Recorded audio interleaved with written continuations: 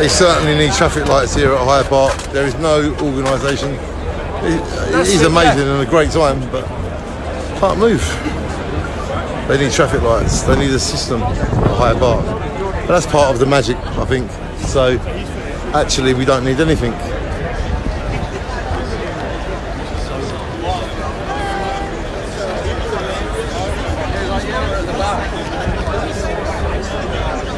particular quarry does.